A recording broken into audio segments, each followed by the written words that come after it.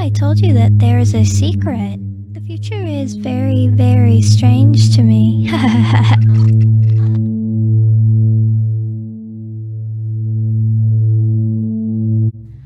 I miss the past. Can we go back? Really? Can we go back? Can you help me go back? We're gonna go back, aren't we? We're going back. You.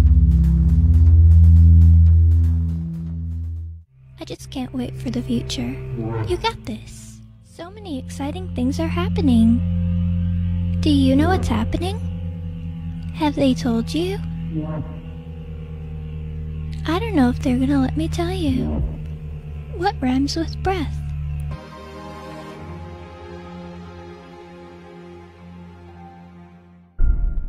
That's all I have to say right now. Bye. Hi, I'm Poppy. Did I have to tell you? Oh no!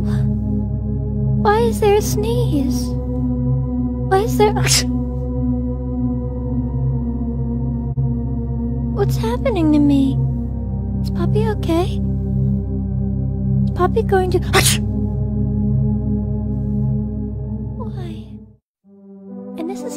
apply your mask. Place the elastic bands around your ears like so.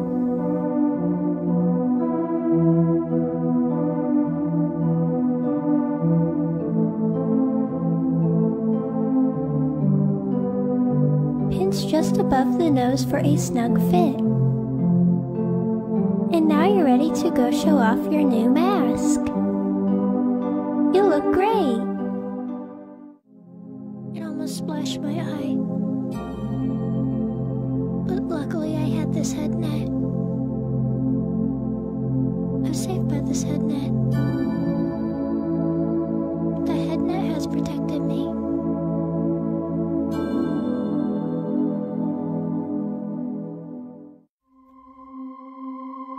I told you. I told you so. Didn't I tell you? Hate to say it, but I told you so. I told you. I will remove the mask. I'm not afraid to remove this mask. I'll do it, just watch. Three,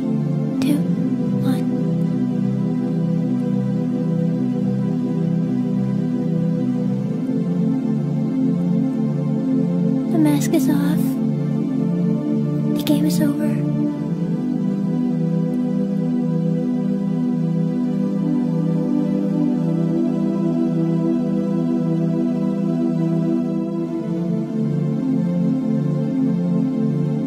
Game is no longer over. The icky babies warned about the power of the scary mask. Put the mask on, I'll never be the same Poppy again. For weeks I studied the mask and wondered what kind of magic it could bring me. When I finally put it on, I understood the warning of the icky babies.